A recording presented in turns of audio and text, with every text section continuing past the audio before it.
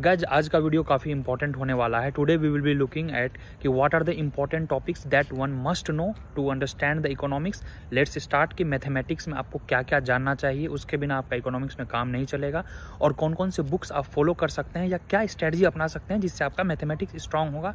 तो today we have special guest and she will be explaining everything every detail in just four to five minutes please stay tune with us please subscribe the channel and please watch this video till end you will be benefited a lot guys. Chalo let's listen to her. Uh, so we have a question actually. How much mathematics is required to understand economics especially for the CUET PG students NET JRF students or as a normal? How much economics how much mathematics is required to learn economics as a whole? So answering uh, to your question sir I would like to specify one thing that economics in today's time revolves around maths okay? I think uh, economics and maths could act as a perfect substitute for each other.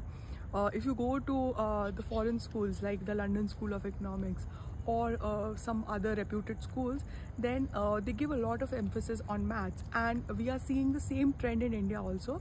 So uh, just like physics, economics, in economics, maths plays a, very important role or I would say a fundamental role mm-hmm. in deriving different models in um, in uh, coming to a concrete solution about uh, the policy making. So maths is an instrumental part in economics and I would uh, say that the basic 12th level mathematics is something so can you just uh, give the topics details? Like these things must be known for the students who are looking for the uh, economics as a career.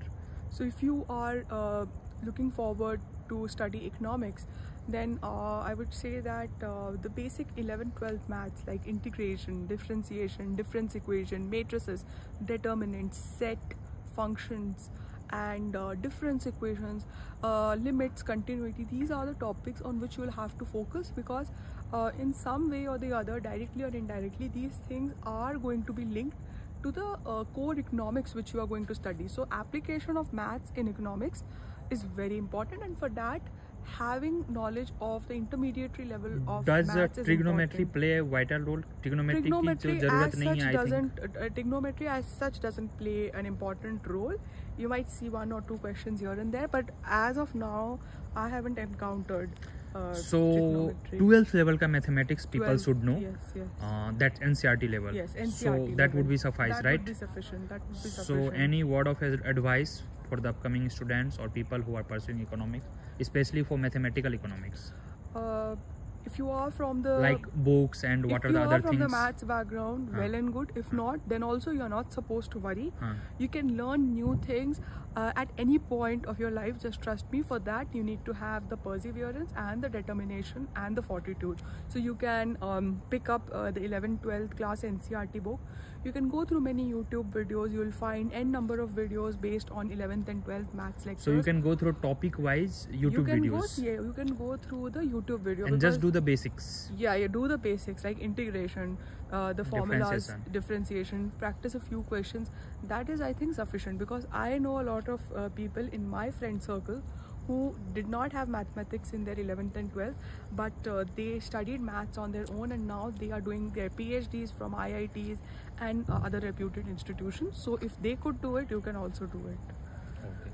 Thank you so much uh, for your uh, guidance and the final word is that guys uh, you have to focus on 11th and 12th mathematics. Yes. and can you suggest the book for self-study apart from NCERT from where they can practice or like they can boost their confidence in mathematics? If, if at all uh, you uh, I belong to the ICSE background. Oh great. So we did a book uh, by the name of I think Malhotra or something that book name I don't -huh. remember but it was a bulky book. Like graduate economics के लिए mathematics books चाहिए as uh, far yes. as I know like like you can you can go through this book called Chiang. -huh. You can also go through this book called Sydsaeter and Hammond. It would be of a higher level but okay.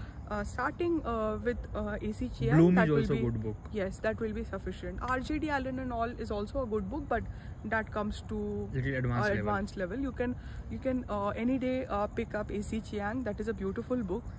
You will be able so to learn. So you will be also teaching optimization problem and mathematical economics to your students, right? Yes, I'll be teaching you. So what are the area would be covered in that? Basically we'll be looking at the one variable case the two variable case uh, the two variable case with constraint, without constraint, partial differentiation, the bordered Hessian matrix, the Hessian matrix. So all of that will be covered. Uh, the first order conditions, the second order condition of differentiation, maxima, minima. So these things will be covered in that lecture. Okay, thank you so much. And guys, stay tuned with the NviNomics.